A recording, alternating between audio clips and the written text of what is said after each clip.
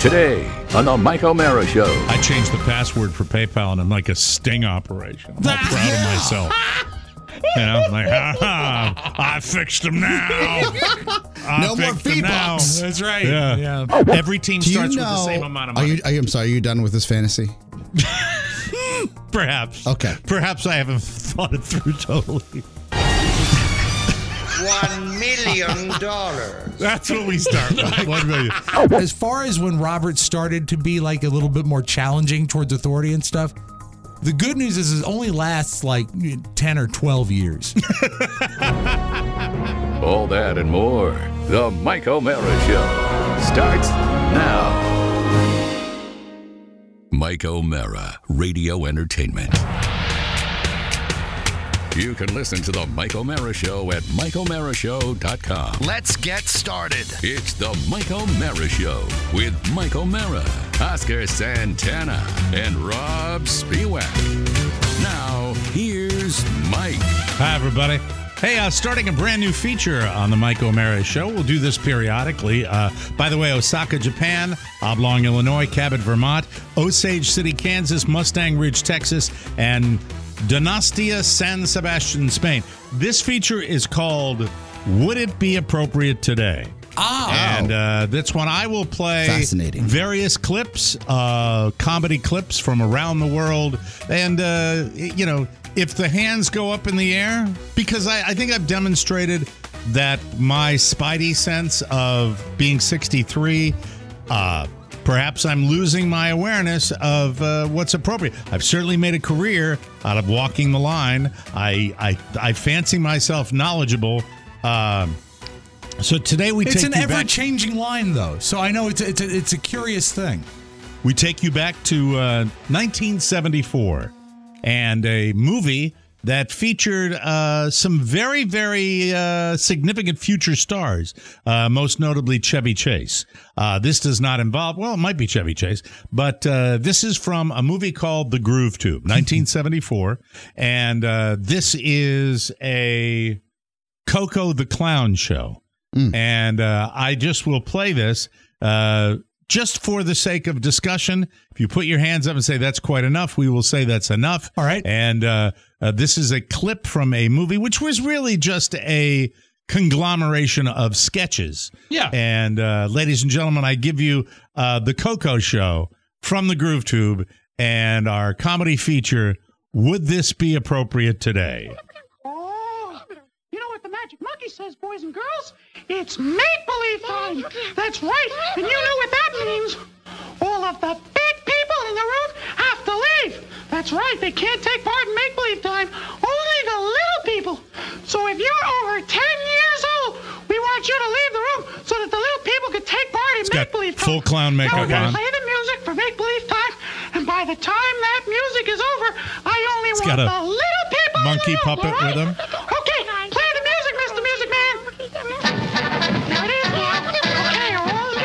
1974. Oh, goes David's parents. Goodbye. Oh, there goes Mary Lou's parents. Okay, bye. Nearly Okay, 40 years ago. music. Are all the little people here for make-believe toys? All of the big people are out of the room?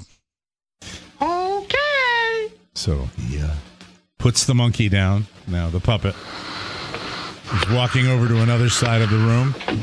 Puts the monkey down. Takes his nose off. He's, he's getting out books. He's getting out some books. Now I have a request here from Vicky Ulanette of Fort Wayne. She asks for page 47 of Fanny Hill by John Cleland. Now he takes out a cigarette. He's lighting a cigarette. I remember this now.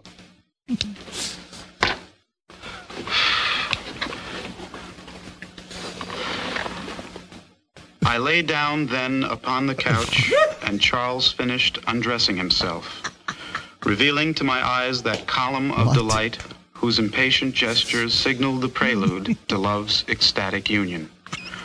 Urged on by consuming passion, we were quickly joined in soft embrace, his hands exploring the fiery, moist territory oh. whence derived my intoxicating pleasures. Hmm.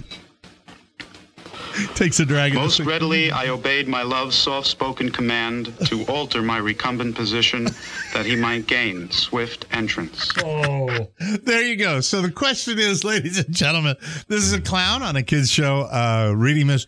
Would it be appropriate today? and I Would it misspoke fly like today? it's fifty, nearly fifty years ago. 50 today. years old. Yeah, that yeah. is 50 years old. And I think that from the rec- recognize the real, I think that's Chevy Chase. It could be. It could I very think well that's be. Chevy Yeah. Chase that's uh, that's doing I- it, but I don't know. I don't think that. I think you can still do this gag on a dark comedy. Yeah, like a sa- it would play on a Saturday Night Live. Well, I'm I glad think. you said that. So let's continue. But how can I describe the overwhelming bliss which swept through me as the delicious velvet tip divided the gates of pleasure and the ivory shaft insinuated itself to its furthest penetration, Jesus. Only to withdraw and plunge again and again. that you could not do. No, it it gets a No, little more no. graphic, doesn't it? No, Yeah. no, That you can't do could that. not do. You But do that. I just, I remember, I remember being a kid and being able to sneak into that and watch was that. Was it a rated R movie then? Oh, it was oh hard R. Hard It's R, not- Then- It was then I a think hard that- R. Uh, maybe the rating system hasn't changed that much. Uh, so that's Are a you good. saying it you know can't what? happen, or or or it can't? No, I'm can't saying air? that, No, that it- I sometimes look at something that to this day makes me crack up Yeah. uh, in its wonderful simplicity of uh, of of pure comedy that is just The funny language, and the language remains strong, but I don't think the concept is cancelable. okay. Yeah. Uh, Yeah, that's I that's there what I was curious uh, about. I guess th- there are um, what is it bits of, akin to this in forty. This is forty. But where, yeah, where the guy like you can see Paul Rudd walking in a room and then he does like a whole bit, an adult bit to kids, yeah, right? Mhm. Yeah, Where he's like talking about his marriage and how relationships are terrible, something along those lines. yeah. Right. He doesn't talk about the velvet tip. No, no, but, but you by don't the know way, well, about that. By the way, I have two minutes left in this, and uh, well, I'm going to continue to All play right, it. very good. Thoroughly inundated by the tides of pleasure which flowed forth from these violent actions, ah, I yielded up the last vestiges of resistance, giving myself entirely to the rapturous rhythm which carried us all too quickly over love's crest and left us exhausted and joyous upon the shore. Yeah, not appropriate. Well, that was an excellent request, Vicky. Hope you enjoyed it. Now we have another request here from Kippy Pratt of Springfield, and he asks for page 43 of Philosophy in the Bedroom by Marquis de Sade. oh, uh, I see we're running a little late, and I, uh, I'll get to this tomorrow, but I do want to make a, a special announcement. Uh, uh, it seems a boy from Newton let his parents stay in the room during make-believe time, or at least it was his mother, because she called the station, and it's a good thing the management doesn't watch the show because they thought it was a crank call. But I'm only mentioning this to tell you that really it's very important that you make sure the big people leave the room during make-believe time because if you don't do that, uh, the management will catch on to what we're doing and uh, we'll have to go off the air and I won't be able to take your requests and so on. So really, please, it's very important. Make sure the big people uh, leave the room during make-believe sensible time. about it. Now, as I said, we'll get to this uh, tomorrow when we'll have uh, more time. We'll get to the end of the show now. You can call the big people back in the room. Jerry, you want to hit the music?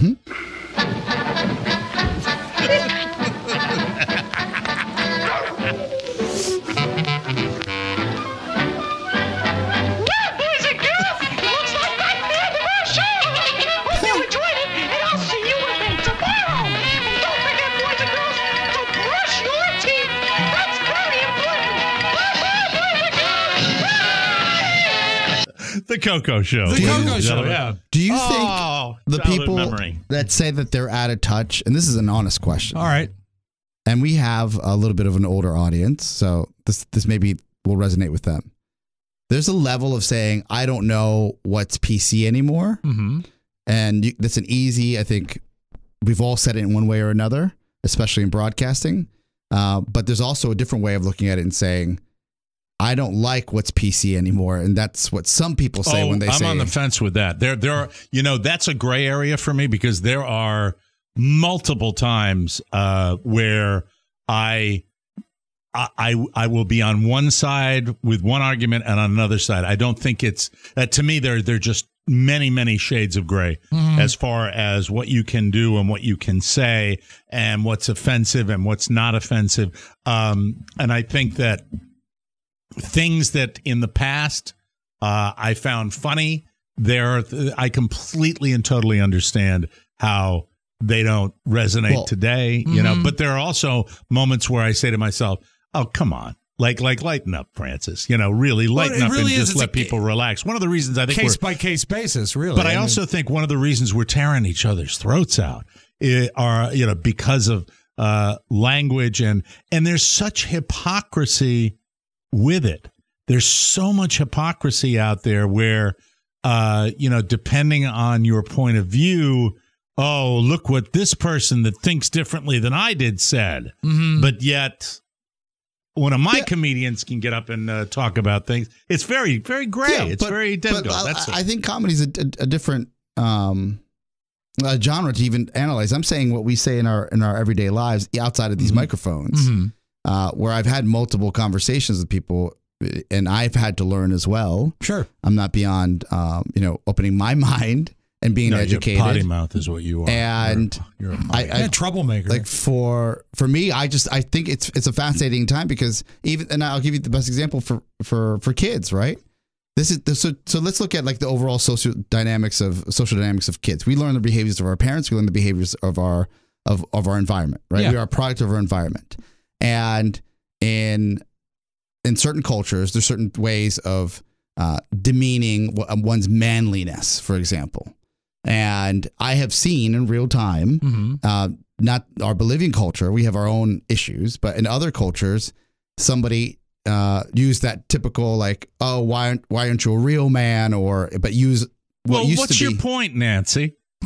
I'm sorry. Just Well, I mean, that's Sorry. exactly what I'm talking about, right? In that same vein, I know where it is. where um, trying to have a little fun, where, folks. where no, but this is an honest conversation where I've seen this happen in real time, and then the same person will use it in mixed company, Right. like at their high school or middle school, hmm and then they wonder why they're getting such backlash. Well, the at most school. recent pop culture example would be Tiger Woods handing Justin Thomas a tampon. Ah, uh, yes, yes. When he outdrove him. Yeah. And uh, it went away. And that, by the way, I think that's how you judge it based on the hurtfulness of it and everything. It was juvenile. He took a little crap for 24 hours and then it went away because it, Am that's I the exactly only one who what it saw was. it as a courtesy? I mean, he might have needed it. it was it was a juvenile prank. Yes. and between jocks uh you know it was it was over. As i mean he dropped it and they they moved on. But social media had a moment. Now i judge the level of uh offense based on how long something like that lasts. I don't think there was much more fallout from that after that. But at the same time uh, I'm sure there's a subset of people in this country that would love to have greater fallout for something like that. And, you know, was it particularly funny? Not really. And was it particularly inappropriate? A little bit. But that's it. That's why. You know, that's that's the the way the way it goes. You know. But I see, mean, so uh, that's weird. that's your personal opinion, or that's how you feel because of the way that people responded to it. I think that my personal opinion would be that was uh I, I based I based my opinion on how people responded. Yeah. I think if that was something really egregious, uh, you know, it, it would probably last longer. I don't think it matters at all. It's two jocks doing something stupid, Right. And I think most people looked at it that way. That's my Yeah. opinion. I don't. What, what do you? I, Yeah, well, I, I actually I saw that, and I was first I thought he was an idiot for doing it because, regardless of it being juvenile, um, with his checkered past and the way that he's like had to wear this the scarlet letter for uh, the infidelity, Yeah, yeah. the the multiple affairs, the lies, all of that. Like, why would you even let that lens fog up and do something stupid like that? And then two, um, it doesn't matter who's doing it because it's not like it's not them that's going to be offended or us that's going to be offended personally. It's uh, it could be a whole different subset of customers for his uh for his sponsor. His brand, yeah. I like to think of the fact that uh, he thought ahead. That's not a spontaneous thing. He had No, to he bring planned that. it. He had to bring it with him. A premeditated Oh, bad bit. absolutely. Yeah, and I think that's funny. Yeah. Uh, the the thought of that is, is funny to me, the, the behind the scenes. But it really is a case by case basis, and it is a blurry line at best. And I like your notion of letting sort of society decide what's too far. if it sticks, it sticks. And it's interesting, you know, as I speak to Jeff Bezos over here, that uh, you brought it into a financial area where he's thinking about his brand and his customers. Well, That's he's interesting. not. You're Clear- looking he's at it clearly like not. a GM would look He's at He's clearly it. not. Yeah, I mean, I, I but I mean, But I'm that's talking his bottom about line. Yeah. it- it- take yourself out of that. How do you feel?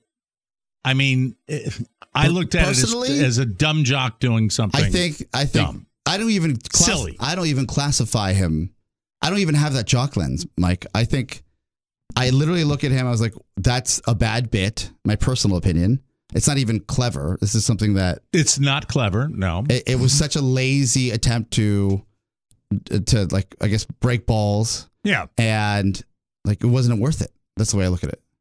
Yeah, well, yeah, I, I it, it probably wasn't, but uh, you know, he he caught some flack because Yeah. maybe he didn't. I don't know. You think he's naive enough to know the cameras wouldn't see that? Uh, I don't know. Maybe sometimes after they hit and they walk, uh, you know, the cameras go off them and they Yeah. move on to something else. So True. maybe he didn't. You know, that that could have been the case. But anyway, bad bit. Yeah. bad bad bit with that but that's the most recent thing Yeah. but at the same time uh when you look at uh my favorite comedian of all time george carlin and you look at his old stuff his old stuff holds up. Mm-hmm.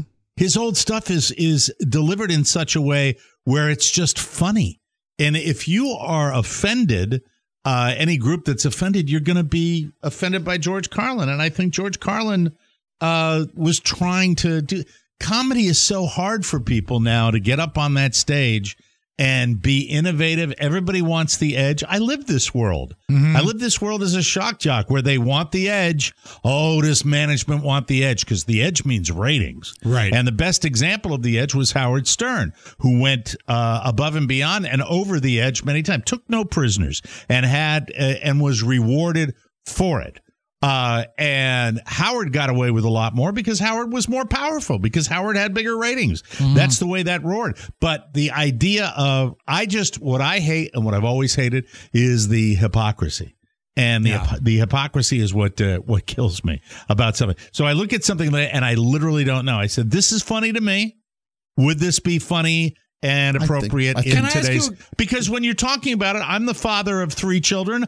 I don't like the idea of doing, but this is just silly, funny, stupid. Yeah. and I love silly, funny, stupid. Let I really me, do. Let me ask like you Jerry. a question. I've known you a long, long time, and I've never asked you this. Back in the most shocking days of your career, the true shock jock days, it predated social media and, you know, instant feedback and all that stuff that would make it easier to gauge where you're at at an instant basis. You know, if, if something goes haywire now, it's all over everything right away. What did you use as a gauge then to figure out where you were? Was it simply the intergovernment or did you did you I mean did you just go with your wasn't gut? my call. I was the second banana. That was not my call. There were things that were done that uh, I was all in on, and there were things that uh, were done that uh, that I created, and there were things that uh, that I went along for the ride, and there were things that personally I didn't enjoy Yeah. that much that I went along uh, with the ride because it was just uh, I don't know. I, I just thought it was, you know, there's one particular you probably remember it Yeah. uh, the Monica Lewinsky Yeah. bit, Yeah. and I don't mind saying it now. Uh, I, I it, hate would not be a strong enough word for how I felt being up there on that. Didn't like Yeah. it. And it was- didn't, it was- didn't like. Not that I felt uncomfortable, just that I thought it's gross, it's nasty. It's Even at a young age, I felt that there was shocking could be entertaining, but also if it was just shocking to be shocking, which that to me, which that's yeah, what that was, I thought it was. that's Yeah. that's that's weak. You know, that's there's Um, no creativity but attached to you it. know, people went crazy. Yeah, they over it. did. uh you know so i mean it was uh you know and that's where the you know the line is is different for everybody but as far as comedians are concerned I just think that sometimes you gotta chill out. When you've got all the, I think our society right now, you have more comedians and more people in uh in the in the world of making people laugh that are fighting battles Yeah. uh, with certain people that it just makes it sad. And we're out there. I have never, I if I sit there and I dwell on it, I get so messed up in the head because I really believe that that you should be sensitive to your fellow man. Yeah. You should lift people up. You should not you should not try to hurt the people that are hurting. Uh and at the same time, having a laugh is not the area where you throw your darts. You throw your darts at people that make policy and people that do that and and work your ass off for that. But let the comedians have a little I think- wider I think you can still be funny. And I, I, what's on Sirius? It's Netflix is a joke radio. Yeah. It's all just bits from Netflix comedy specials.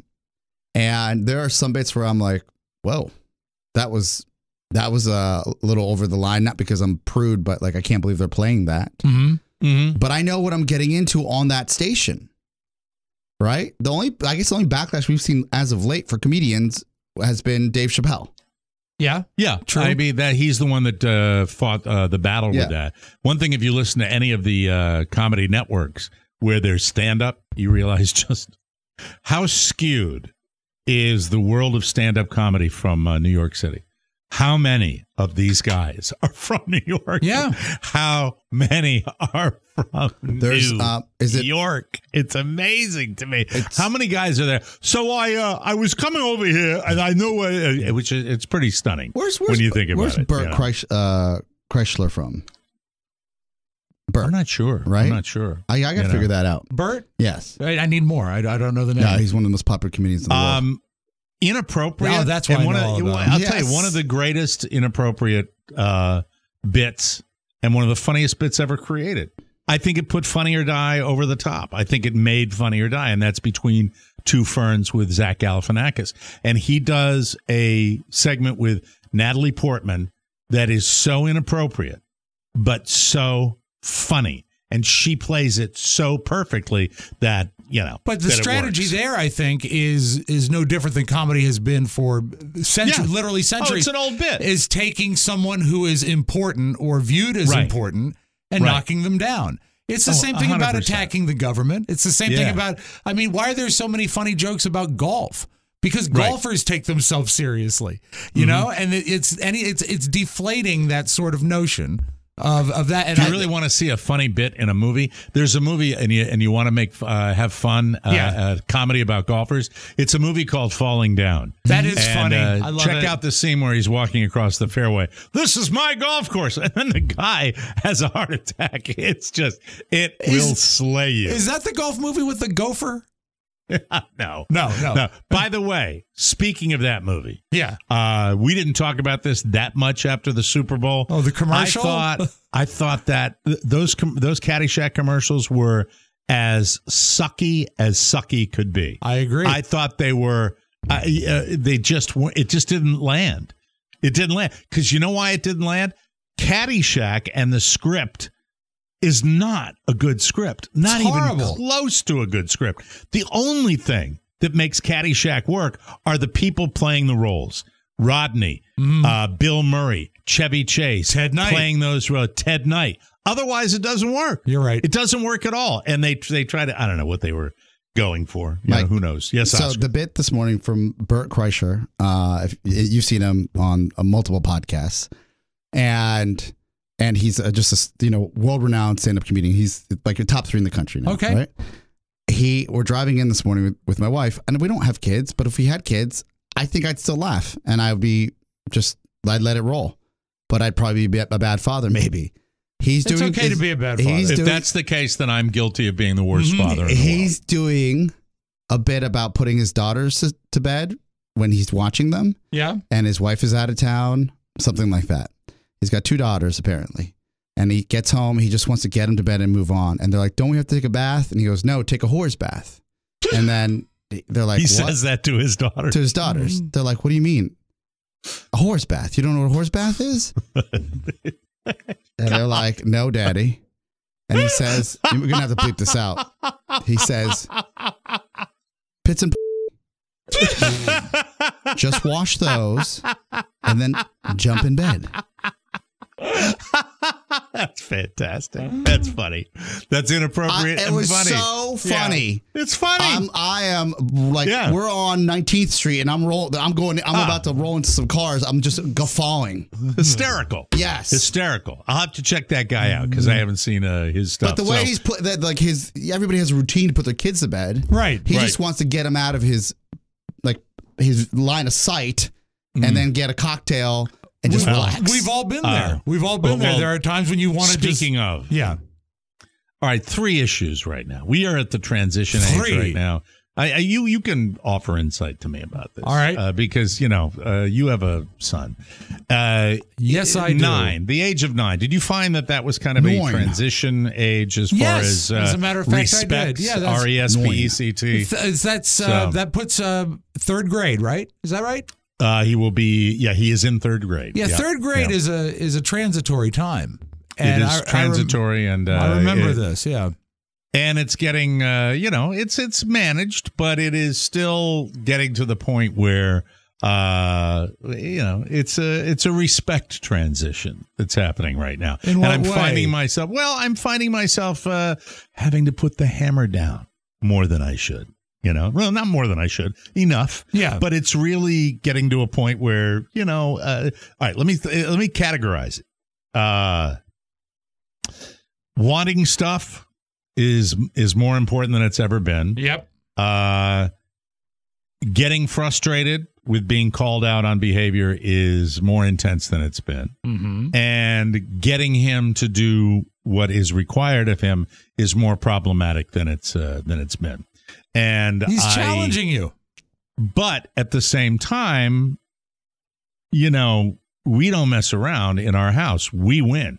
I mean, it's not you don't give up, but you can see this is a moment if you take the uh the other side where you decide you don't want to hassle with it, it's game set and match in my opinion. This is when this is when the heaviness starts to come in, Yeah. you know. Mhm. And I will tell you that it's getting to the point last night uh right towards the end. I'm trying to think uh something about his phone in his bedroom after bedtime and i i laughed because it was right on the heels of a purchase for v bucks that was not authorized a nine dollar purchase and that's just not acceptable Right. you can't do that without telling and then the phone and i said oh my god and he's like dad i didn't i said hey you know and i gave him the irish look you know Mhm. where listen you you you're not good you i i i'm finding that uh, we're at a moment and every inch of being the older father uh comes crashing down because i'm saying okay i gotta i gotta stand my ground here it's just a transition It's, time It I think is. it's quite typical, especially with now Julia. Her transitory was a little older, and Julia, to be honest, was almost problem free as a child growing up. until that uh until Julia, Dillinger Ju- Julia Julia Jelly, Jelly Baby. Bean. Yeah, that that was about fourth grade for her, and she bounced back from that. But we really had to put the hammer down to make that, you know, to stop that in its tracks. But you, Mike, uh, as far as when Robert started to be like a little bit more challenging towards authority and stuff. The good news is it only lasts like 10 or 12 years. yeah hmm. it's something where and the dishonesty factor sure. You know, I mean, Well, the I boundaries. there's- the boundaries aren't tested with hmm. direct confrontation nearly as much as they are what they can get away with. It is, there is a comic. Oscar, be prepared if you ever go through this. Well, I'm just gonna beat him. I remember, no, don't do that. I mean, I, You heard it I forget first. the comic who said it, but there was a comic who said he had like a young kid, and he said, "I watched him discover lying," and he Yeah. said, "You mean I can just say something that isn't true?" Isn't that where the transition for human beings happens? Yes. As soon as dishonesty is Yes. rewarded, which it is for human beings, Not even and, just uh, rewarded, but accepted. accepted. Yeah. in their own minds. You know, Exactly. we don't accept it, No. uh, obviously, but you know, any fantasy you harbor, uh, and look, if there are exceptions, drop me a line. I would love to hear it. I'd love to hear how you deal with it. If there are exceptions to the rule about the honesty factor, I will welcome it. But I think it's when, you know, the pivot, the great pivot. Because if you think about us as creatures, right? What is the worst thing human beings do? They do something horrible Podcasts. and they and they, they do something horrible and they lie about it. Yeah. And then it's degree, It's right? so easy. It's degree. It's so easy to bust people though, especially oh, it's very easy Like to bust right people, but it's, it's- not. But it's not essential to bust. No, people. look, look. If you ever have pro tip for everybody at home. Yeah. this is for uh, kids, adults, whatever. Who cares? If you're smart enough to run your home router, which everybody thinks is daunting, it's not. You're literally logging with a password on the back of it. The company gives you everything. When you log in, if you really want to see what your kid's looking at, or your wife, or your husband, whatever, use those credentials on the back of your router. Log in, and you can see everybody's activity. Mm-hmm. So for kids, are you up late? What's your usage? All of that. Those tools are given to you by every big cable provider, internet provider, ISP, whatever, uh, in the world. And you get to use those. And I've seen them used at my sister's house in real time when they shut everything down at 11, or my brother in law is going through the browser history of his son and or daughter and make sure that they're not uh, doing anything, you know, or doing some .ru transition. Have uh, you ever done that. Rob? I never have. I never have. I've Okay. looked at their history on their computers. Or, or they're, they're not buying meth uh, from, Right. from Canada, right? Right. So, like, I So think the tools are there. the That's a very tools good are point. so they're there, they're in front of us. So I, I remember when I was a kid, it was like the third degree to my brother and sister. Did you call so and so? You couldn't call the phone company and get your phone records. Forget about that. Right. Right. Yeah. Uh, I changed the password for PayPal and I'm like a sting operation. I'm all proud of myself. You know, I'm like, ha, ha, I fixed him now. I No more fixed 'em fee now. bucks. That's right. Yeah. Yeah. He can't now. Once I do that at my computer, he can't do it anymore. Right? He's got to. can't He's got to re. Uh, he's got to put the Relog correct, in. correct, correct credentials Right. and authorize that that device. Mm-hmm. Yeah. All right. So uh, you know, no fuss, no muss. But I like the ideas that you have, and I might need a tutorial. A full on that at some dashboard of everything that's gone on. hmm That's wonderful. I like that. Notice the way Rob and I both said "uh huh" the same way. That "uh huh," ladies and gentlemen, is we're not going to give a f- about this. Well, we're no, not going it's to not do that. I, thank God it's. I'm past it. You know, they're Right? I you wouldn't do it if you weren't past it. Well, I did. No, you might have done it. You might have done it during the uh the Dillinger era. Yeah, the and- Julia Jellybean. and I did these spot checks on their history. You know, I did. I did check on it. I didn't have to go deep enough that it was. But it be, sounds to me what Oscar's talking about is that they've got the system Sure. where they can sit Yeah. at their laptop, go in there, and they like do an- it all the time, like and your they know internet banking. exactly what's mm-hmm. going. You see all the transactions, but Oh, you see all the fantastic. History. That's good. I like that. I like that indeed. I think that's a wonderful And idea. Carla comes in and says, "Why is he watching so many videos about women in bikinis fishing?" Said, Uh, "Oh, so we're trying. We, we're also we're also doing a little healthy diet thing now because we're cutting down on sugar. Yeah. and most kids, especially right around Valentine's Day or Halloween, you know, sugar becomes a part of that. He's not out of control with that, but he is a growing boy and he's sprouting and he's he's getting hungry. The other night, we put him down to bed and he's walking. He sort of Carla puts him to bed and he's backing into the bedroom. And she looks, and behind him in his pajama, he's got his shirt off and his pajama bottoms. And tucked into his pajama bottoms, right at his waistline, are two slices of bread. That's hilarious. That is a pro. It's like I've got a prisoner. Pro I've tip, got a O'Meara, prisoner. O'Meara, Yeah. O'Meara, like he's calling his friend saying, playbook. He's calling his friend saying, "Yeah, I got the carbs. I Yeah, got 'em. exactly. I got the exactly. carbs." I, he'd never do that with a protein, but a carb, baby, absolutely. If he could have gotten a cinnamon roll in there, he would have done that too.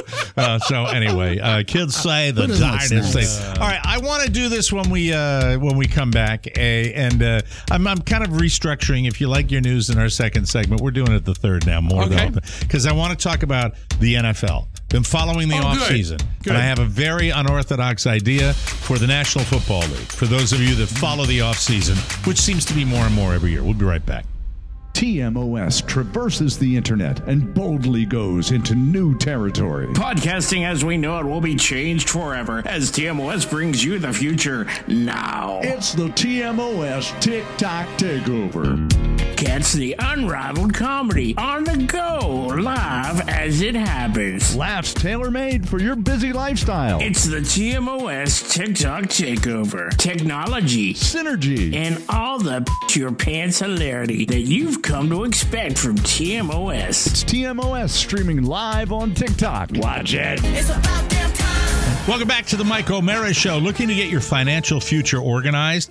If you don't have life insurance yet, that should be at the top of your list. Fabric by Gerber Life is what you need. With life insurance and other family finance solutions all in one place, Fabric has great policies like a million dollars in coverage for less than a dollar a day. It takes less than 10 minutes to apply and then tailor your quote to fit your family's needs. Fabric was specifically designed to give parents like you affordable term life insurance. Plus, Fabric has a 30 day money back guarantee and you can cancel at any time. Fabric was designed by parents for parents to help you get a high quality, surprisingly affordable term life insurance policy in less than 10 minutos. You could be offered coverage instantly with no health exam required. Protect your family today with Fabric by Gerber Life. Apply today in just 10 minutes at meetfabric.com slash TMOS. That's meetfabric.com slash TMOS. M-E-E-T fabric.com slash TMOS. Policies issued by Western Southern Life Assurance Company. Not available in certain states. Prices subject to underwriting and health questions. Okay, I've been meaning to talk about this for a while. So, the NFL. Hi, everybody. I'm Jim Nantz. Boy, Jim Nantz, back off, my friend Jim Nantz. He's the who best. made a movie who made a movie reference during the football game. And it yes, it was a much older movie than he said, but come on, What'd back off. What was Birth of Oh, a Nation? God, what was the movie he was talking about? Oh, now I'm gonna I have made to a huge squeeze. I've, I'll I've pad for you. One, just share Yeah, what was it? I was at the art auction at the end of the, uh, the after auction. Yeah. and there was a uh, a drawing on paper, but ch- like charcoal. Yeah, art. yeah, yeah. And I, and I said uh, up next, and I named the artist, and I said, uh, "Give me uh, Titanic vibes. Paint me like my French. Paint me like my French girls. Uh, paint me like your French girls, Jack." Yeah. Uh, and and I said, "Anybody a fan of Titanic?" Oh no, crickets. Crickets, Maybe not a Titanic That's the worst crowd. feeling, isn't yeah. it? because it was a tasteful nude, Mike. That's like when I said uh, right at the beginning of COVID, I said, "Hey, I'm uh, so glad I got a chance to uh, shake all of your hands, and I really look forward to uh, getting my COVID test results tomorrow." Crickets. Where Yeah, I, where. I should Too have re- soon. where I should have recoiled is with anybody a Titanic fan. Yeah. Crickets. I should have read the room right away. Yeah. But I went in for paint me like your French girls, Jack, because it was a topless lady. Yeah. Yeah. Okay, that was a problem. And yeah. then nothing. Mhm. I said, never mind. Let's start the bidding at forty dollars. You see, that's that's one way out. But you can also, in a situation like that, double down and over-explain it. Sometimes people love seeing the awkward. Oh, I ejected. oh, I don't know. So Jim Nantz gets this crap from people during the uh, CBS coverage of the final round of the Genesis Open, the Oh, I'm uh, one sorry, out in L.A. CBS, Riviera. yeah. CBS. Uh, Jim Nantz made a pretty bizarre movie reference. It's not bizarre. He just bizarre? It was a slip of the tongue. He said, following Jon Rahm's birdie to stretch his lead on Sunday, uh, Jim Nantz said. To quote a Steven Spielberg movie that came out last year, "Catch Me If You Can." oh what? No, that is Last year? egregious. movie was 20 years ago, That 21 guy. years ago. that was two marriages ago. Yeah. To quote it- the current was- Clark Gable movie, I don't give a Get damn. get off his Frankly. ass. I love Jim Nantz. I do Jim too. Nantz, by the way, J- uh, na- national treasure. He is he's one of the best in the business. Not just that he was a friend of the show and is a friend of the Yeah. show. I just I think he's the best. I think That's he's not smooth. fair. You gotta let uh, I that, think- that pass and slide. Yes, That- give him- that's give him a- egregious. He might have So- been thinking of the Fabelmans. So let me tell you this. The idea of the NFL. I'm watching because I care about my beloved New York Giants, and it's a very, very tricky, like many NFL teams, tricky to negotiate and navigate the offseason Yes. with franchise tags and free agent negotiations and who to pick up and who to let go, and it goes back and forth. It's tricky. And all of this crap about the salary cap and you know how much cap room they have and what Eh, eh, I'm not a certified public accountant. All right. I'm a football fan. Yeah, you are. And you know what? And I also believe that, you know, teams that draft well and get a great player uh, like a Patrick Mahomes should be rewarded like they were this year with the Super Bowl. I think that's fantastic. At the same time, I think you have teams that wallow in obscurity season after season after season after season. And I would imagine for those fans, in those certain markets, it's got to be awfully frustrating to wait 20, 30, 40, in Detroit's case, 1 million years Yeah, history uh, of the for their team to franchise, yeah. So I wrote this down. Socialism in the NFL may be more fun. Here's here's my plan. All right. As opposed to all of this salary cap stuff. All right. You have tiers. You have tiers, like a flat tax, right? Okay. You have a flat tax with certain players that are, let's say it's an A, B, and a C category. All right. After a season, you grade your players. Every team gets the exact same budget. All right. And uh, look, you're going to say this is a killing capitalism. Isn't it a little silly that these salaries are uh, to a level now where you know it's more than these guys will ever need in their lifetimes? I think that's fair. And you can still have uh, a tier structure where it's more than they will ever need in their lifetimes, but everybody gets that tier structure. I see. So you get to you get now. Hold on, Mr. Capitalist, before you continue. I think every what if every year Yes. two things happen. You get to keep the guys you like. All right. You keep the guys you like. And then after that, everybody starts with the money that's left How over. many players are they allowed to keep? Well, the, the roster, like a roster of players. And then every team has a, every team, every season starts with the same amount of money. Every team Do you starts know? with the same amount of are money. you, are you? I'm sorry. Are you done with this fantasy? Perhaps. Okay. Perhaps I haven't thought it through totally. One million dollars. That's what we start with. One million. Yeah, because like you have Patrick Mahomes. Patrick Mahomes, great Yes. season. Yes. Uh, uh, we designate Patrick Mahomes as our A player Well, there's for a the fr- next you, you can for tag the next someone with a ten fr- years. the franchise For the, tag. the- hold on. Next 10 years, we know franchise tag is only for a season. So you actually designate Patrick Mahomes as our A player for the next 10 seasons. Okay. So you've got $400 million you got to give Patrick Mahomes because an A player gets $40 million a year. yeah. But if Patrick Mahomes uh, starts to suck wind, Mhm. Or you're saddled injured. with you're saddled with that, Yeah. and they can still leave if they don't like the term. They can still leave. What about a variant where every, say, July 5th, because we get the fourth off anyway, every July 5th, all teams have to draft a brand new team? What? Okay, why don't you stay out of this? All right. I'm so I sorry. am- I thought you had something serious. No, is it really that different from the system that I- already exists? It's a it's a two sided market. Salary cap. It's a, blah, well, it's a two sided market. You're you're looking at it from the owner's perspective and, and the team's perspective. Some players just don't want to stay, and if they don't want to stay, you can't keep them there. They can, you know, there's a contract in place, but Well, you can, no. they can If you have a ten-year contract and you've signed it, you can have chosen to stay. Oh, you can, uh, Mike. These contracts are not ironclad. It goes both ways. Yeah, Uh, but I'm saying that's the thing. I'm just talking about the confusion of cap space and You wanna what- make it 'cause The numbers, the numbers are not perfectly lined up for me when you talk about cap space. How He's do you? gonna. uh, how do you? And I'm going to be very transparent here. I know the cap. The, the cap. Uh, you know what? I don't know enough about the cap to understand and and It's confusing. Yeah. Well, I'm not. The only way. The only. This is what I understand about any salary cap in any league is this prevents. This actually.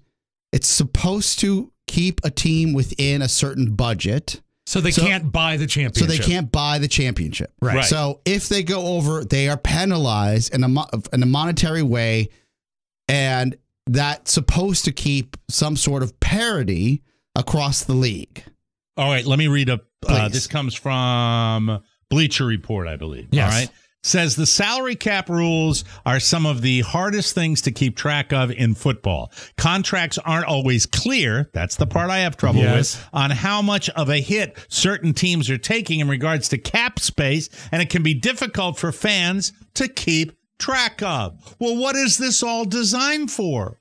It's designed for the fans. It's designed for the people that pay the salaries of these players and get these owners richer. That's the point. So make it so it's a little easier to understand. give Marco the headset in the other room, our young buck from AU. That's Yeah. a sports All right. fan. Marco is here today. I know Marco you, wants in on this Well, discussion. I figure that he's got to know more than we know. For Sure. God's sakes, what do you know about a the salary, salary cap? before he goes Okay. on marco a salary cap is essentially an agreement uh, between hey i have old eyes uh, an agreement between the league and players that places a limit on the amount of money a team can spend on salaries for players the nfl uses a hard cap meaning that no team is allowed to exceed the cap limit for any reason all right all right that's all Young That's blood. all. What what say you? Uh, okay, so I'm a lot more familiar with the NBA salary Give it cap to us. than the Ah, NFL, okay. and so the NBA also has a hard cap, but if you go over it, you pay what's called a luxury tax. Correct. Which that's I, the same in the nfl Yeah, i think same. I, I yeah, and uh, I'm pretty sure uh, it's one. The owner pays one dollar for every dollar they spend over the cap. Do they So use they- that money to buy lozenges? Yeah, yeah. Hey, hey, hey. I need I need to use my Yeah, money how to buy about, laws. how, about, how about you bring a water in there? Keep it on the floor. for the uh all right so Thank you. all right. Thank you, Marco. All right. That was really great. Don't put that on your reel. so it's a, a certain well in a way i'm what i'm saying the cap is a certain number. Right. right? Uh let me see what it is for 2023 This is Does the luxury tax, if it's paid, it goes what to it goes league? into the league, into the pot, right? right. You're not paying it to, to Uncle keep Sam. parking costs down. Well, just the overall, like just in case an elevator breaks at headquarters, uh, you know, like a condo fee. we really need to get this elevator Yeah. fixed. Roger 2023 needs to be nfl salary cap all 32 teams ranked like that cap i don't want that god damn it Don't be fussy. Uh, no, it's just uh, the salary cap for the 2023 season is set at 224.8 million. That's the crap I hate. That's the account. You know what's sad? I used to know so much more about this when when Fox was in the NFL, and it's not was, that sad. He was, That's uh, a 20 million dollar increase. I'd love to get Fox to talk Yeah, well, it. this is what's Uh, what's what's great is um, Fox would humor all my questions Yeah. when we were younger, and we'd see each other on a regular basis. Now I just watch him on TV. Um, and by the way, uh, I know that he was on he was on um, the Daily Show as Yes. a guest. Congratulations, he looked great. He killed. He was fantastic. Is. Trevor Noah gone from Trevor that show Noah's yet? gone. Um, they're still having the rotating cast Yes. of hosts. Mm-hmm. Uh, but Foxworth was on when DL Hughley was on, and he killed as usual. Um, but I, I say this to mention that that the tax itself, outside of the parity for the teams, Mm-hmm. um, that's just one side of the economy for the players. The players also have certain minimums and what they want, right, Mike? Yeah, So- and in and in the player's case, it's the Howard Stern radio factor, Correct. where there are superstars who collect insane amount of money, and then you have the second tier guys that get decent money, and then you have everybody else that kind of you know wallows in Well, the, and the- uh, they work on the middle of the commission. pack. and the Yeah. majority for as violent as the sport is and, and this might be uh you know something you've heard in the past the reason why the, and to this day most nfl athletes are like hey we have an average lifespan of three and a half years maybe four if we're lucky um, we don't get the endorsements at a very high clip because unless you're a superstar people don't recognize your face because they're wearing helmets the entire time you're on the field and in the nba you know you're on television your face your persona everything's there Yeah. um, the advent of you know, TikTok and being an influencer that has changed some of that paradigm.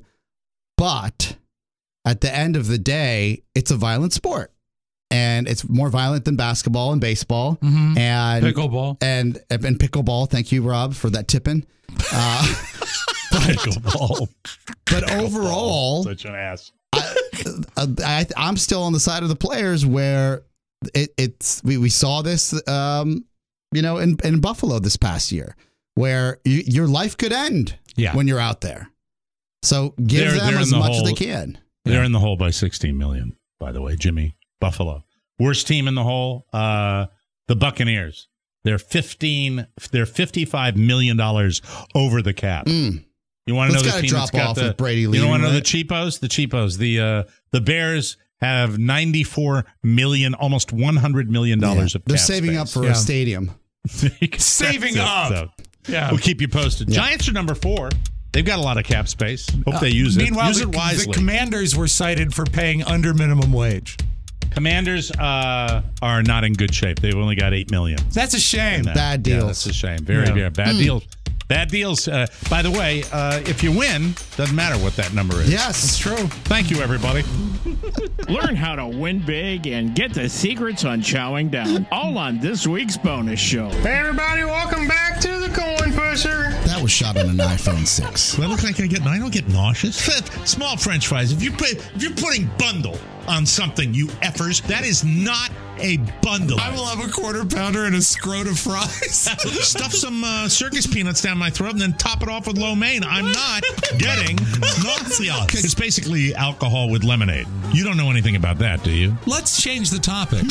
You can't win if you don't play, and you won't laugh until you subscribe. Win big on hilarity today at MikeO'MearaShow.com. Please go shopping. We're on fire. Hello, sweet nectar that I see. Ah. my Yay, wonderful liquid cup IV. of liquid IV. You make me feel good. You make me feel happy. You sober me up when I'm feeling crappy. Liquid IV, I love you so much. Your flavors are wonderful. Passion fruit and such. Yes, sirree, liquid IV makes me sing. And I will continue to drink it. Let the bells ring.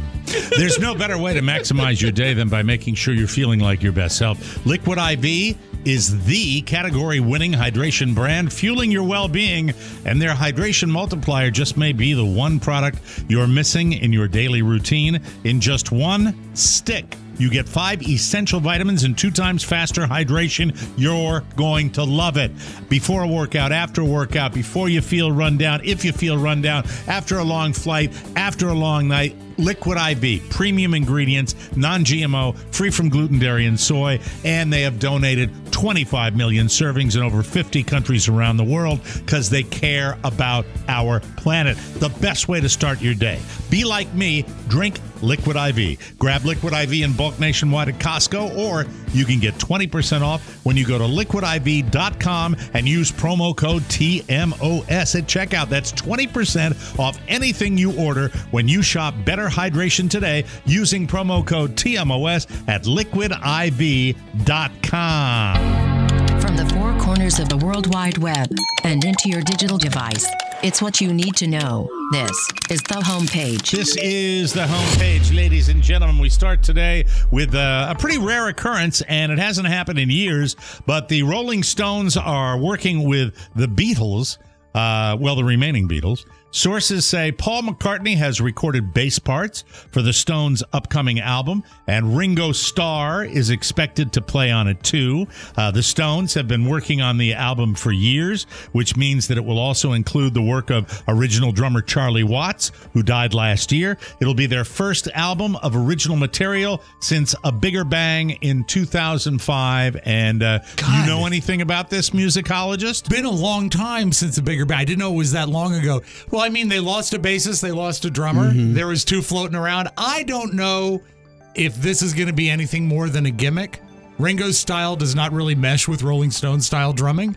So I'll be pleased to hear them do new music. Their last album, Lonesome and Blue, which was all blues covers, was fantastic. I loved Okay. it. So right, we'll, see, what they have. Tough for them to churn out crap, especially when it's been a long time. Yeah, you so know? I, and it's got to be sad to try and finish an album without Charlie, who was like the heart and soul of the band. and I think that's why it's kind of good that they bring in Ringo Starr. Yeah, and they, for you know, they so. go way back. They uh, there's a song that the uh, Stones did in like '63 or four called "I Want to Be Your Man." That's a Lennon McCartney song. So they hung they hung out back in the day. Okay. So I'm curious to see how this works. I feel out. like there's like a ton of Eiffel Towers back in their day. what do you mean? Oh, Yeah. absolutely. Yeah. Going Look- to look- France? Yeah, look Mhm. that up at home. Not safe for work. No. Yeah, you guys are prudes. There's no way that you don't know that. I You don't know that? Oh um, man, Oh, when you, you look it up, you're gonna disappoint me. laugh. You would, you would, you would. I just murdered. Yeah, but nobody Really? got the. Pony got it. Yeah, Yeah. You, you did Yeah. murder. You murdered Yeah. the momentum of Yeah. the show. Sorry. I have to know. Text me immediately. Okay. Yeah, it- it- I can't in move on, that. to I'll the next story without. Yeah. All right. Not safe for work.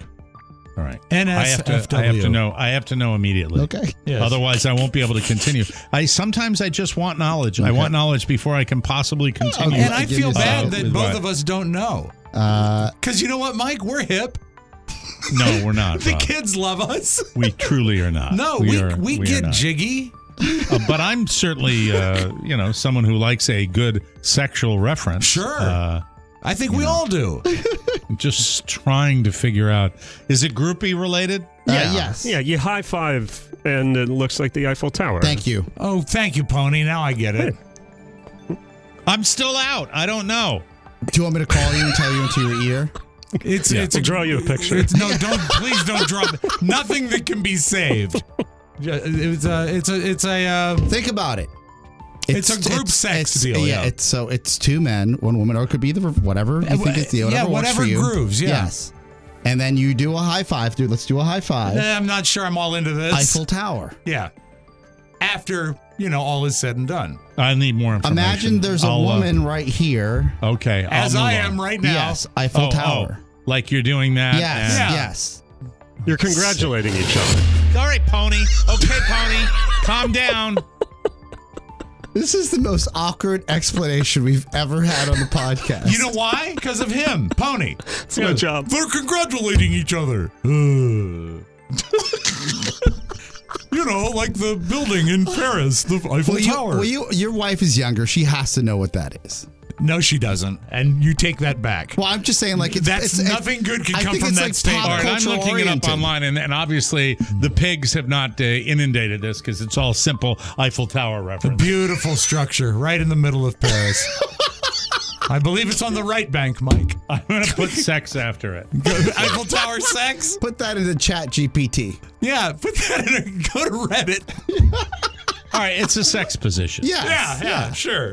All right, I never knew. Now I do. Okay, I can move on. Thank now you. I know. Thank you very Sorry. much. Uh, here's a guy that knows what we're talking about Bernie Sanders. Yes. Uh, he isn't just angry with capitalism, he also has no patience for your silly TikToks, uh, especially your dance videos. A woman named Taylor Champ was making a video with a doorman on a sidewalk in New York City, Yes. uh, blocking that sidewalk just as Bernie was trying to get by. I saw this video. Bernie did. I didn't see it yet. It's Bernie funny. didn't smile. He didn't join in. Uh, his resting grump face didn't change for an instant. Uh, but to his credit, he also didn't make a fuss. He just went around them. Yeah, and then he made it. He did an Eiffel Tower. I just came from the hotel doing an Eiffel Tower with Senator Patrick Leahy. There's a guy. You, you, you know what? Uh, I would love to get the Senator Patrick Leahy comment of the week. If you want to hear a guy that sounds his age. Oh, really? Oh, my Okay. God. Why Oh, does it smell you like know. Ben Gay? It's Yeah. yeah. This is where I wish you could look it up, Rob, and play one for us right here. That's Need okay. more. Pass more Re- Salonpas over here. Rihanna had the largest streaming week of her career in the U.S. last week because of her Super Bowl halftime show. That's why they do those. Yep. Uh, she had a total of 166.13 million streams, uh, which was a 156% increase from 65 million the week before. The most streamed song was uh, Umbrella with 9.53 million streams, followed by uh, Lift Me Up from Black Panther, Wakanda Forever. Uh, then there was Diamonds with uh, 8.44 million. She also became the seventh artist in the last 50 years to have five albums in the top 50 on the Billboard 200 albums chart. So, uh, good uh, good time to be Rihanna with the new baby on the way. I think uh, congratulations to her Anyway, the uh, push to make a four day work week the standard has uh, now picked up steam in recent years. Uh, the world's largest four day work week pilot program has wrapped up. It took place over six months. It was in the UK. But it involved researchers from around the globe, including Boston College and the University of Cambridge. 61 companies participated. Nearly 3,000 employees were involved. The companies could choose how they structured it, like giving an extra day off per week or reducing their working days in a year to an average uh, uh, that averages out to 32 hours a week. So it wasn't even 40 hours crammed into four days. The only requirement was that they could not cut salaries or benefits. The workers would get 100% of their pay, and in exchange, they deliver 100% of their usual work. In the end, it was a resounding success for employees and employers. And it wasn't just about less working hours for the same money. 15% of the employees who participated said no amount of money could convince them to go back to working five days a week. Oh my There. God. Mike, let us go Jesus. live to the uh, floor of the Senate. Okay. Patrick Leahy. recognized. Mr. President, I brought a lot of bills to the floor here. This is the last one I am bringing to the, uh, I brought to the floor of the Senate, but I, it's one that we have to act quickly on, or we're going to be closing down our, our government. this bill provides. I don't think uh, that uh, we are $20 electing. I don't think that our elected officials are are too old. No, I don't either. truly don't. Rob, Yes. ten. Way to go. Thank Way you. to go. I give you a lot of grief on this show. That is a home run. Rob Spewak, That ladies and gentlemen. I have my Will Eiffel Tower in celebration about So that. Grandpa Simpson is up there. That's right. Shaking Uh, his fist. Yes. Wow. Uh, oh my goodness. Uh, workers, uh, by the way, regarding this work week, reported a lot of benefits, including better sleep, stress levels, personal lives, mental health. The companies uh, reported that their revenue stayed broadly uh, the same during the six month trial, but went up 35% on average when compared with a similar period from previous years. And a They lot of them dealt- said that it was great to get tanked on Thursday night. they also dealt with less turnover, fewer sick days, less burnout. Of the 61 companies, 56, 92% said they were continuing the four day work week, even though the trial is over. And 18 of them said they've already made the four day shift permanent. That leaves five companies. Two of them are uh, going to continue experimenting. That's when you know you're screwed. Yeah. If you're working for the, Can- uh, we're going to take another look at we you. don't want to rush into it. Uh. Uh, only three or five percent say they're done with it and we'll return to five days. Get me the name. yeah, you know who's going to do it, the Mike, names. is the uh, 911 service for Washington, D.C. They're going to four day Four weeks. days a week. Fantastic. Uh, now, a little something, something for all of you. There are people who love Disneyland. Yes. There are people who hate Disneyland. Hi, everybody. And people who like it once in a while. Uh, but after an exhausting 12 hours at the park, you're good for a year or 10. Uh, then there's 50 year old Jeff Reitz, who just earned a Guinness World Record for visiting Disneyland 2,995 days in a row. Ooh. Oh, my God. That is eight years, three months, and 13 days. His run stretched from 2012 to 2020. His last visit was March 13th. His last day, uh, the park was open before closing for the COVID 19 pandemic. He was trying to make it to 3,000 and was only five days away. Uh, this is a while back, right? This is Yes, a full year ago. correct. Yeah, at least. Uh, but he struggled a bit during the pandemic and decided to make changes in his life. One of them was to stop the streak and uh, just move on with his life. Jeff's uh, record was just certified by the Guinness Book of World Records, and he said he'd love to return to Disneyland and uh, show it off, but he hasn't decided on a return date quite yet. This guy- so I guess he's done. It's giving me Forrest Gump vibes, you know? Maybe. Yeah, could be. I saw the video of him and he's getting pictures taken as he walked in. Uh, Jeff is uh, living with friends in a shipping container at the back of an abandoned cul-de-sac, uh, just past the intersection of Waste of Space Avenue and Bag of Water Lane. He spends most days waiting in line at Best Buy for the latest video game releases and tending to his rubber band ball collection. Jeff is also known to frequent local blood banks and takes weekly visits to a local dog park where he enjoys sketching beagles. He is a life member of the Star Wars fan club, the Indiana Jones Ark Hunters, and Friends of Groot. In his like spare time, he likes to creep out joggers, drink blue Slurpees, and smell his own fingers. Thank you very much. That's uh, Jeff. None of that was true. Uh, we have to take a break. You know, and, uh, my we'll come back. my dry cleaner also asked me to stop the streak. I don't know if that's related. Stop the streak!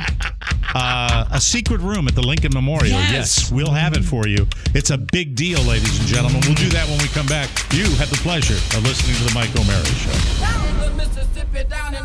City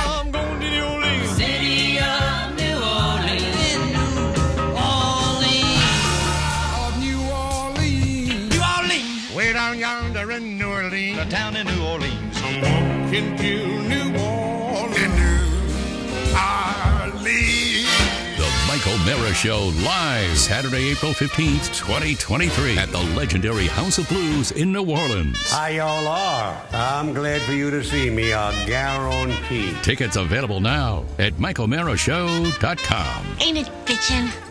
All right, for the last minute folk, uh, Oscar, um, how are we doing and how many tickets are available for our? I've been joking about it for a couple Yes. of months now, but uh, how many tickets do we have available for New Orleans for people? Because I know people make last minute plans Yes. in the month of March to go away in April. We have tickets available. We have less than 90 tickets available now. So we've been flat for the whole time.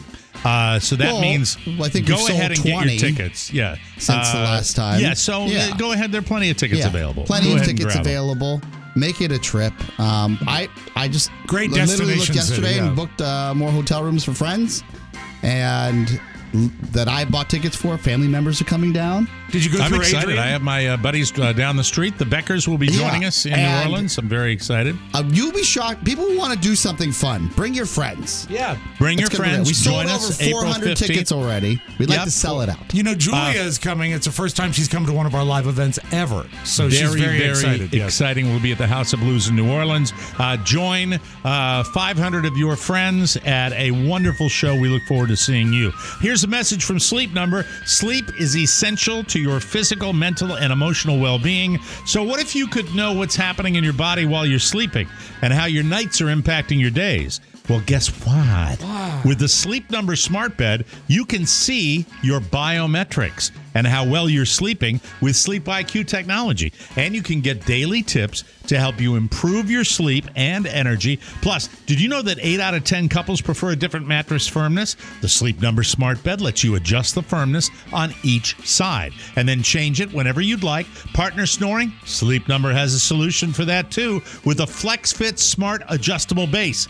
You can gently raise your partner's head at the touch of a button to help alleviate snoring. That's absolutely true. My sleep number setting is back to an 85, and I love it. And Carla remains at a 65. Why choose proven quality sleep from Sleep Number? So you can be at your best for yourself and those you care about most. And now discover special offers for a limited time at your local Sleep Number store or at sleepnumber.com slash TMOS. Now, I think it was back, uh, you know, well over 10 years ago when I uh, had my bachelor party downtown and we ended up going to the Washington Monument and seeing these little manhole covers that had little secret chambers that had mini Washington monuments in them. And Jerky told me that it was very exclusive and very secret. And then I saw 10 p- pages of uh, We all pictures thought on the it was- internet. Yeah, they're like landmarkers or earthquake markers, aren't they? It turns out there was something to do with uh, Erosion? something to do with that. Yeah, I thought when when you first told us this, I was so enamored with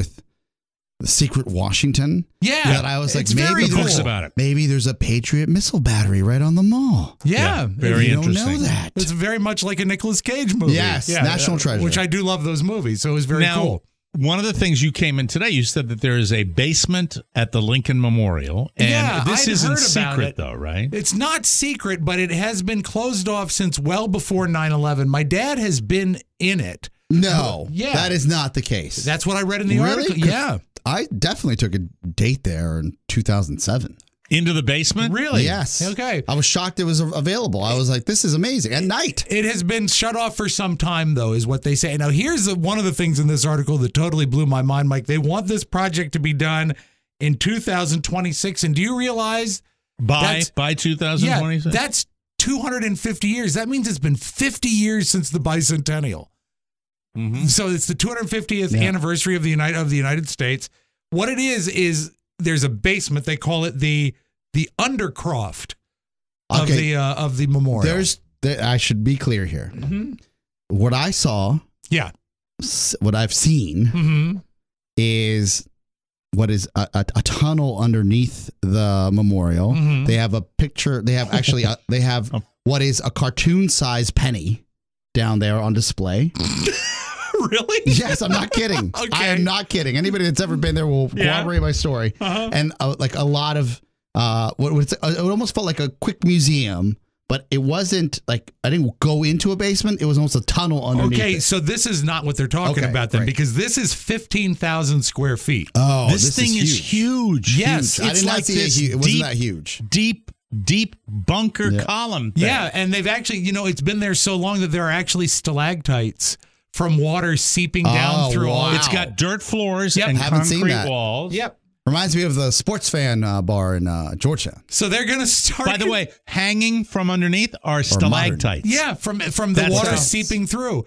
So they're going to start Or the old construction bayou next looked month. like that, right, Mike? You know the bayou. Yeah, I closed the bayou. You did? we were the Yeah. last show at the Yeah. Bayou. Yeah, Oh, Last yes. show at the bayou, Washington D.C. But Ah, the, um, sunny days. That was something back in the day. Uh, anyway, It is. uh, Uh, they're going to start construction next month, and they hope to have it done by July of 2026. It's going to have bathrooms. It's going to have an immersive Lincoln Museum. Oh, It's going to have a gift shop. This is great. And this you has know just some been of the uh, features underneath are pictures that have that the original workers drew on the support columns.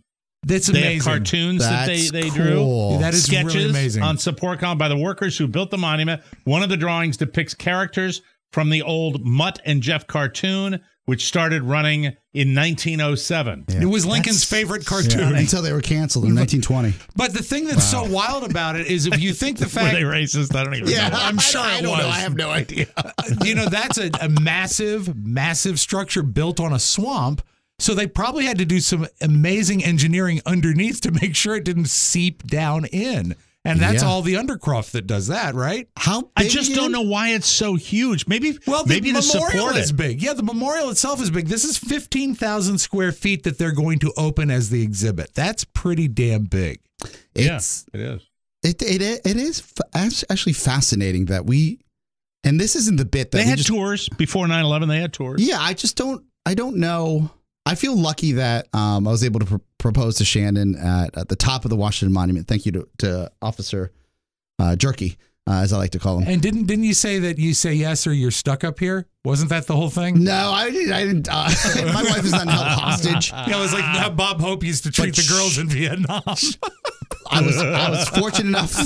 I was fortunate enough that the elevator was working. that is great. but it's constant. What other monuments are constant? Like you're done working on it, then you start at the bottom again and start over again. Like it's always constant maintenance. it has to maintenance, maintain it, maintenance, yeah. maintenance, maintenance, Yeah, maintenance. Have you ever that's seen the- the pictures the- where they stopped building it? I think it was for the War of 1812, and for a while there was half the obelisk Oh, there. wow. It's and you can see where the brick changes color on The it. Capitol, Mike, right now is being worked on. Yeah, right? yeah. When is that well, going to that seems over? like that seems like every That's been 50 every year. years. well, they're gonna there- they it's got a fle- paint and it's uh, the fleecing of America. It's not the fleecing of America. The It luxury looks like taste. about two two two levels down. This giant space underneath. It's, so uh, cool. It's, big. so cool. I drive by them. I see the Lincoln Memorial twice a day, and I always look at it, and I always say that is pretty awesome. It's still cool. It is. but Okay, the I thing is, figured if out you by get looking there, at the pictures what it is. The depth of it is like you would build a superstructure for a high rise. The depth of it is for the columns for to Ah, support it to has to support the Yeah. structure. Yeah. I would That's pay. But if you go to the Lincoln Yes. Memorial and don't just drive by it, Mhm. it's a very, very impressive structure. I mean, it is much bigger Yeah. than you think it's going to be. Lincoln himself is huge. It- it's it's a, it's, a, like it's a must. 58 It's a must steps. see. Yeah, it's just, gorgeous. It's gorgeous. is really I used to- cool. when I was active, I would ride my biker um, through there, hmm and then and you just see all these tourists, and this is this is why people come come to the city. Yeah, I've seen the Lincoln Memorial, Memorial, been there mul- multiple times, and on my bucket list, uh, other than Lincoln Memorial, only one other monument I want to see. What's that? And that's the uh, Eiffel Tower. there we go. Thank you. Yeah. It all comes full circle, ladies and gentlemen. Lincoln did Put one my with hand out like that. I Yeah. think right before the shooting. Yeah, it's all the different columns that got me confused. You know, arms, legs, akimbo. Uh, we have to take a break. Tony And, uh, says, "I'll draw you a picture." yeah. Hey, let me show you. We'll be right back.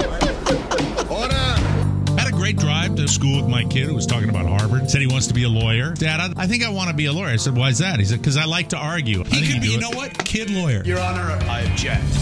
I'll allow it. Have you been heard on a podcast? It's no time to play grab ass, fella. It's time to get tough and call the law offices of Michael William O'Meara, kid attorney. So an Irishman walks into a pub. O'Meara is on the case, and you'll get the money you deserve. The Mike O'Meara bonus show is so funny it should be illegal. Get a bonus show subscription today through the link at MikeO'MearaShow.com. Michael William O'Meara, kid attorney. Oh yeah, it's driving me nuts. He knows all about the birds and the bees, but it's his opponents in the courtroom who are really. F- you can't handle the truth.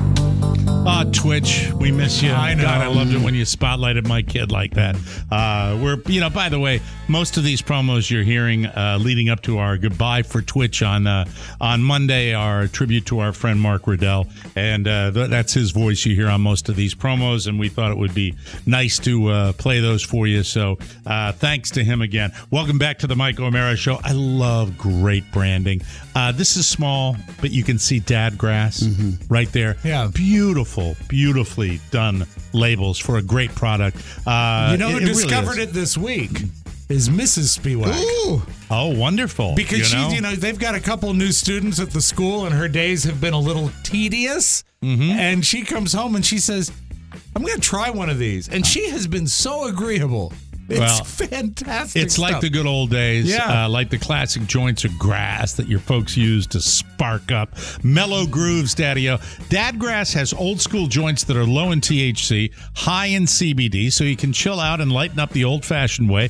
Dadgrass is legal, organic, smokable hemp that relaxes your body and mellows your mind. And if you want the toke without the smoke, Dadgrass also has CBD gummies just in this little jar right here, tasty. made with the same high quality hemp. They're delicious, easy to dose, and the effects come on smooth. Chill out without getting stoned. It's like having a glass of wine, not the whole bottle. It's absolutely out of sight. We think you're going to love it. All Dadgrass products are federally legal for ages 21 and over and ship right to your door anywhere in the U.S. Right now, Dadgrass is offering our listeners 20% off your first order when you go to dadgrass.com slash TMOS. Go to dadgrass.com slash TMOS for 20% off your first order. That's dadgrass.com slash TMOS. It's groovy, baby. Sound. Sound.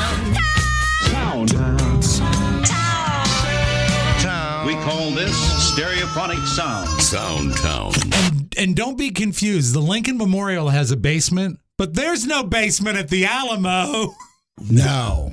Hey! From Pee Wee. And we didn't win. Pee Wee's Big Adventure. No. Hello, Pee Wee. Your bicycle's in the basement of the Alamo. I remember. It's so great. Large Marge. um, is Britney losing her mind again, or is she just having fun? Okay. She did a video on the Instagram where she keeps talking about a dress that was made. And the the cuts are weird. It's I didn't do any editing to this. She's using a put upon voice, and uh, she also Mike. She's back to being barefoot, and her feet look unclean. Okay, so last week, guys, I made a dress. I was really proud. A girlfriend helped me sew it. They sent me a dress I didn't have to make myself. Pink. I can't believe it. I'm just saying. Now I'm so proud. I didn't even have to make it myself.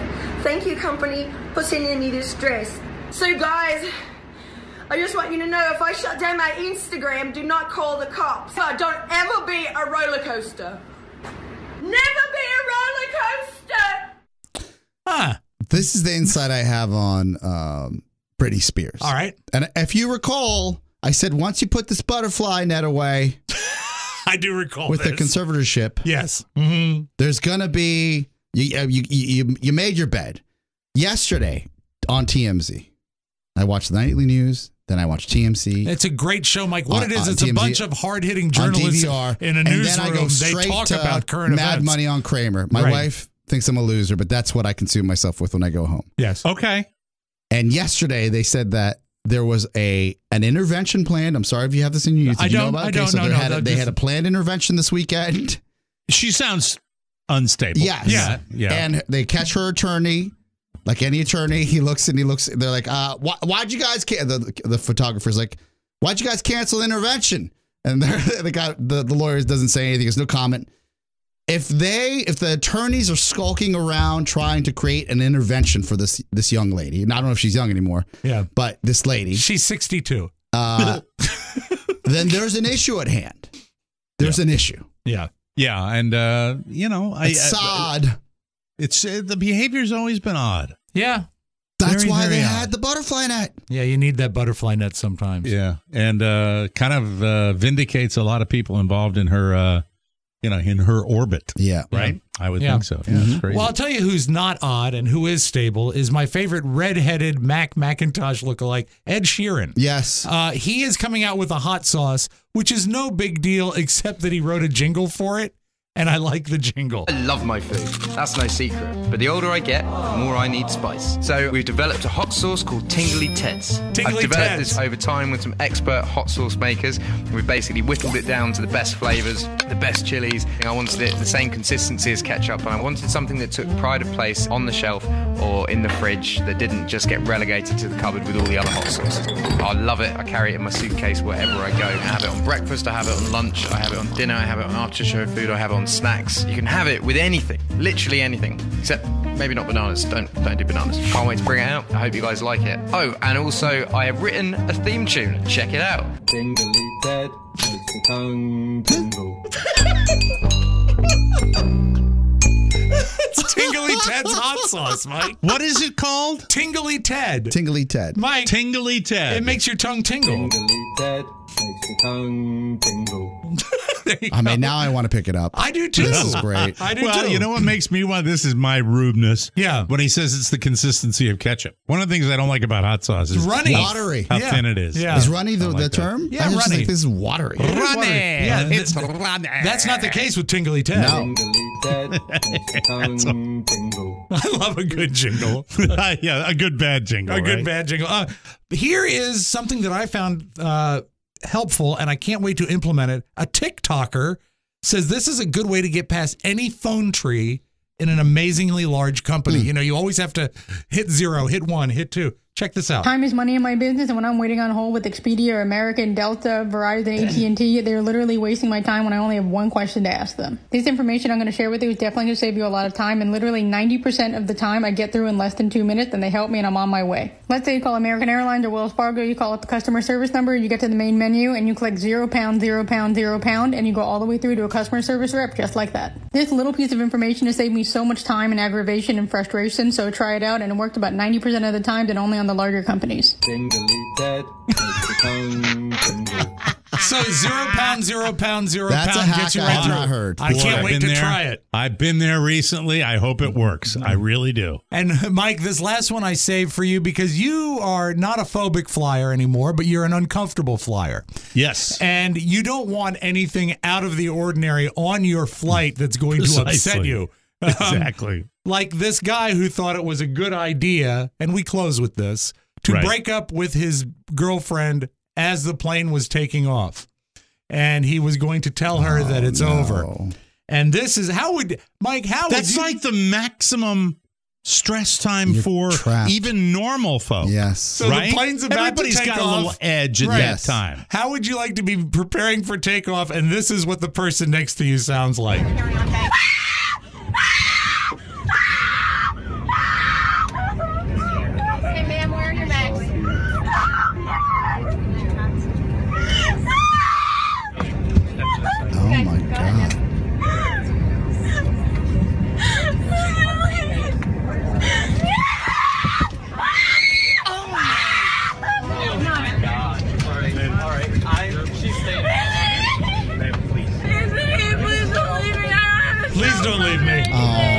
Feel for this girl. Oh, I do I feel. too. Oh, Rob, you jerk.